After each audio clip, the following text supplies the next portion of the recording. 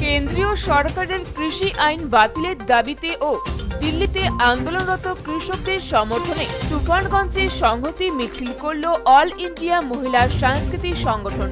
সংগঠনের রাজ্য সম্পাদক মণ্ডলীর সদস্যা শান্তনা দত্ত বলেন, কর্পোরেটরদের ও আদানি আম্বানিদের স্বার্থ রক্ষাকারী যে বিজেপির কালো কৃষি আইন যাতে কৃষক মারা যাবে না। সাধারণ মানুষ মারা যাবে। তার বিরুদ্ধে যে চলমান কৃষক আন্দোলন, তাকে সমর্থন জানিয়ে আজকে অল ইন্ডিয়া মহিলা সাংস্কৃতিক সংগঠনের পক্ষ থেকে জাঠা মিছিল। তিনি আরও বলেন, বিজেপি সরকারকে এই বার্তা দিতে চাই। তুমি কর্পোরেটের স্বার্থ রক্ষাকারী আইন প্রণয়ন করতে গিয়ে কৃষক বহু মানুষকে খুন করছ।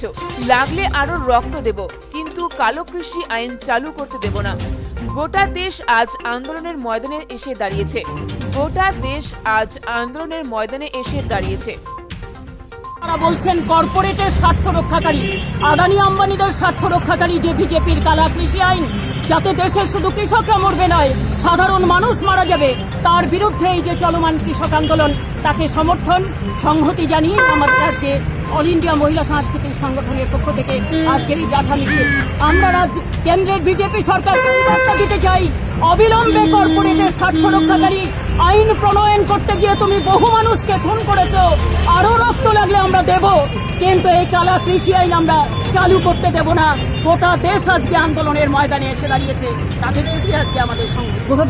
তুফানগঞ্জ রেগুলেটেড মার্কেট কালীবাড়ি মোড় থেকে এই মিছিল শুরু হয়ে শহর পরিক্রমা করে থানা চৌপতিতে এসে শেষ হয়।